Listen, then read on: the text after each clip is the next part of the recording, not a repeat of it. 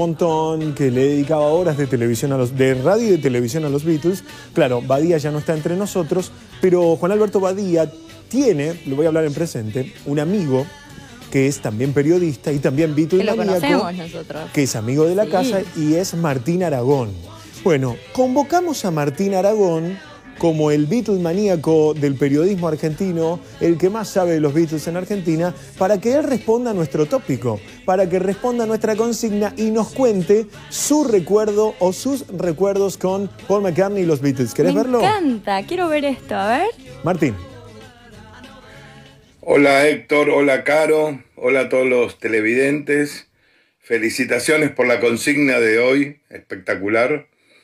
Y gracias por, por la invitación a, participar.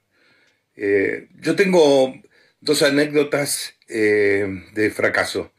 Viste, generalmente todos nos gusta contar los momentos que nos fue bien eh, y anécdotas divertidas y ponerse la cocarda. Bueno, lo mío es al revés.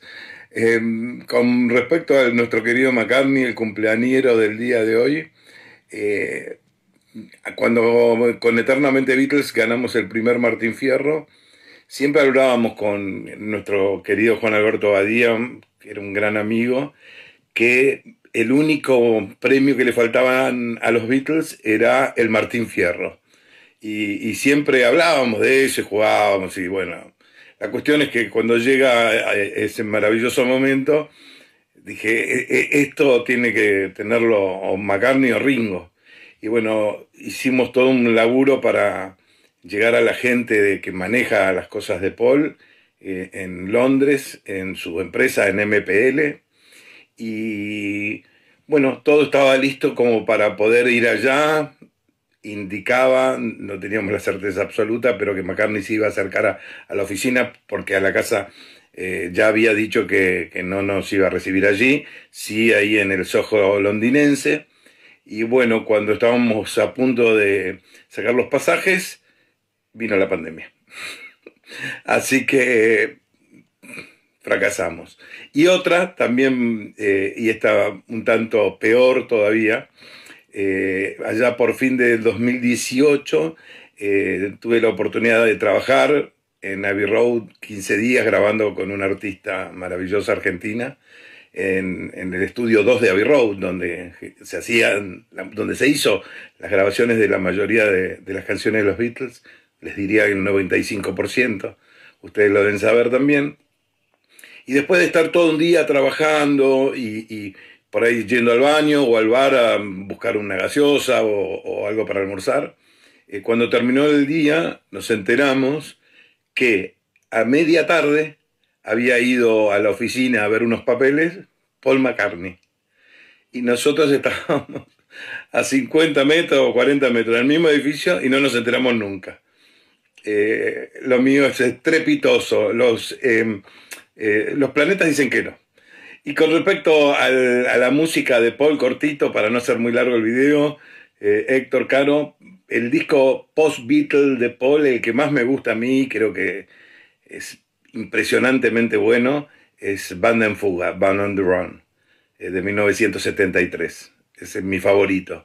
Y después destaco dos cosas. De la era post-Beatle, eh, los últimos dos discos, Egypt Station y McCartney 3, fueron número uno, eh, en uno en Estados Unidos y el otro en Inglaterra.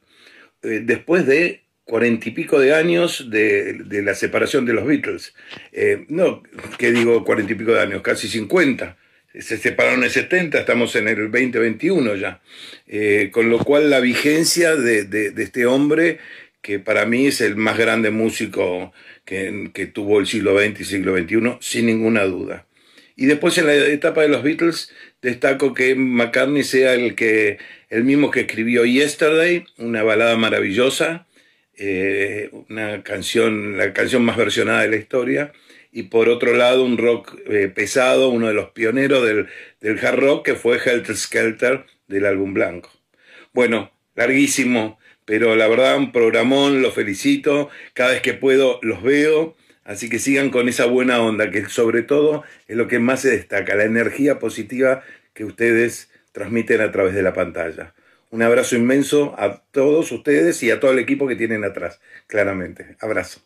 Gracias, gracias Martín ¡Ay, querido. qué espectacular este Qué video! buenas historias. A ver, es uno de los pocos videos que dura tres minutos y uno se queda escuchándolos los tres minutos atentamente porque lo que sabe Martín Aragón Pero es además, impresionante. estuvo bueno que, es cierto, somos muy exitistas, ¿viste? Te piden una anécdota con los Beatles y contás lo positivo. Y él contó los fracasos. Sí, Nunca- no, no quería lo vi, vino estaba la ahí. pandemia. Estuve en el bar de Abbey Road, el tipo estaba en otro estudio, no me lo crucé. No tenía que ser, pero mirá cómo Pero sabe, ¿no? ahí, y nada además, más. la cantidad de datos que nos dio en estos tres minutitos de video, Martín, le mandamos un beso grande. No está en vivo por una sencilla razón. Es un tipo que se levanta a las 5 Muy de la mañana. claro. Entonces, por eso estuvo presente con nosotros. Vamos a